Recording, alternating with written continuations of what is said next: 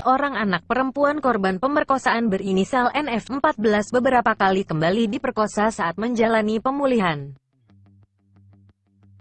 Ironinya pelaku kali ini adalah Kepala Pusat Pelayanan Terpadu Pemberdayaan Perempuan dan Anak. P2TP2A. Kabupaten Lampung Timur berinisial DA, pendamping NF. Abdul Rauf menceritakan bahwa awalnya NF adalah satu dari tiga anak korban pelecehan seksual yang diserahkan kepada lembaga pemerintah itu untuk direhabilitasi. NF diserahkan langsung oleh ayahnya, Sugianto. NF kemudian berada di bawah tanggung jawab DA sejak Maret tahun 2020 atau sebelum memasuki bulan Ramadan. Sejak saat itu, tak kerap melakukan aksi bejatnya. Korban ini dibawa ke rumah pelaku. Di rumah itu dia disetubuhi. Di rumah si korban juga sama disetubuhi juga. Dia melakukannya di rumah korban juga.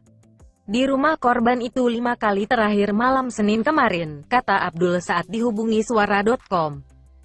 Senin, tanggal 6 Juli tahun 2000, selama kurang lebih tiga bulan NF diintimidasi oleh DA.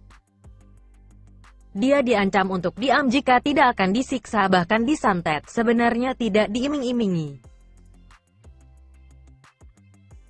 Hanya diintimidasi, awas loh kalau sampai kamu ngomong tak cincang-cincang kamu, tak santet kamu, nanti kamu tak penjara kamu, itu kata NF cerita, ucapnya.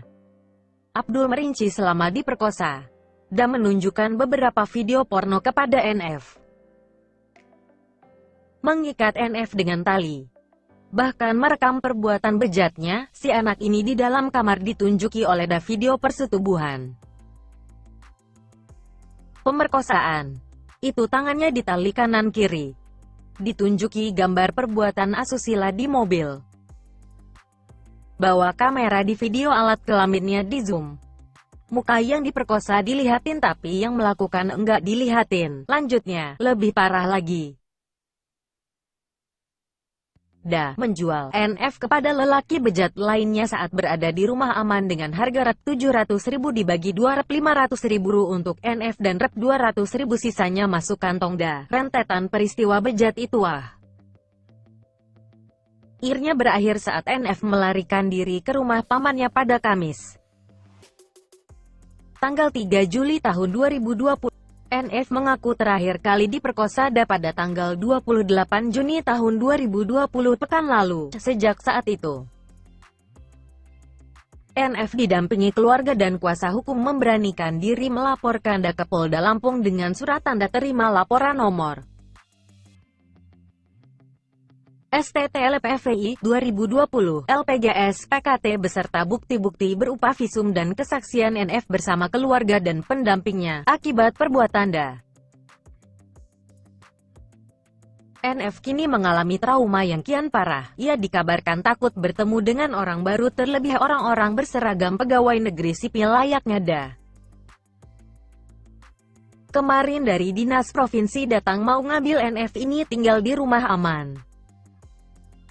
Tapi NF masih trauma dengan orang baru. Dia enggak percaya apalagi berbau instansi dan seragam karena ada ini kalau datang pakai seragam.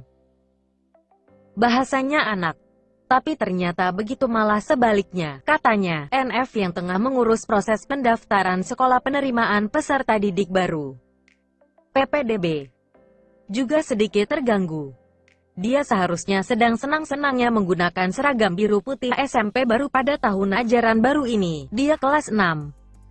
Mau daftar ke SMP negeri ini. Belum ngecek ini. Dia daftar di SMP negeri. CNF belum ngecek karena sama kami belum boleh keluar dulu. Nanti sekolah saja bisalah. Enggak harus di negeri.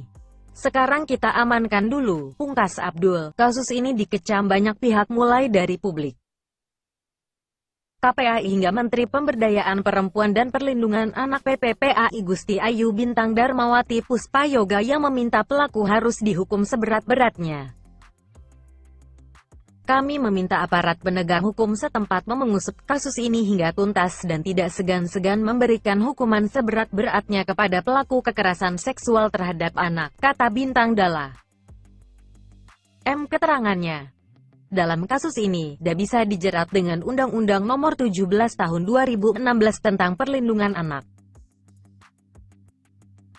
Menurut UU Perlindungan Anak, jika kekerasan seksual itu dilakukan berkali-kali mengakibatkan luka berat, gangguan jiwa, penyakit menular, terganggu atau hilangnya fungsi reproduksi, bahkan korban hingga meninggal dunia, pelaku dipidana mati, seumur hidup atau pidana penjara paling singkat 10 tahun dan paling lama 20 tahun.